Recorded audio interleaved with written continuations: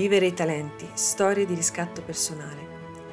Vi diamo appuntamento alla prossima intervista con Marco Lorusso, produttore, docente di conservatorio e performer di fama nazionale e internazionale. Scoprire di avere un talento può essere l'opportunità di avere un alleato che aiuti ad attraversare le difficoltà e contribuisca al benessere.